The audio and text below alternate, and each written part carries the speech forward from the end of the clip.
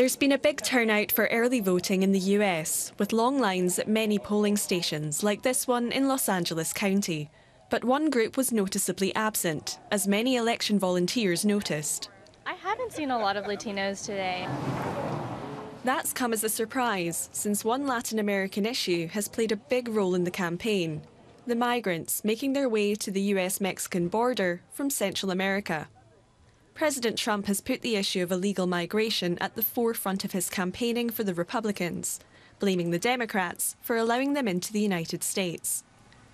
Democrats hope to turn Latino discontent over Trump's migration rhetoric into votes, but they don't have a detailed strategy for the diverse Latino community, according to Sonia Diaz, the head of a Latino think tank. Almost 60% of Latinos surveyed in a national poll had not received any sort of communication, information from a candidate. Latino interest groups are trying to fill the void.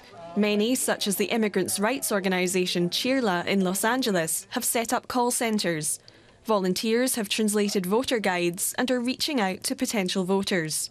Six out of ten Latinos are millennials, and many are voting for the first time. The latest polls have shown that less than half of them know who's running in their respective districts.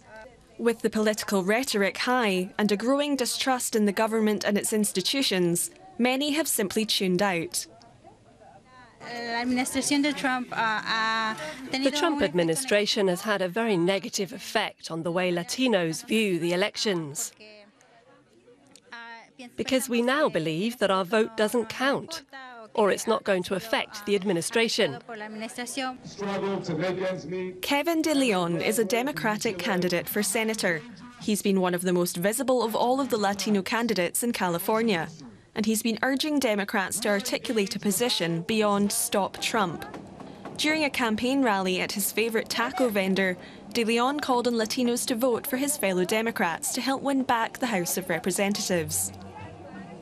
It's critical that in these very dangerous, consequential times in our nation's history, when we're engaged in a battle for the soul of our nation against a president without one, that the Latino vote comes out strong. You know, come Tuesday, November 6th, to send a very clear message that we're one America. Latino voters represent one of the fastest growing demographics in the United States. This year's midterms may indicate whether the Democrats have found the key to mobilising them at the polls.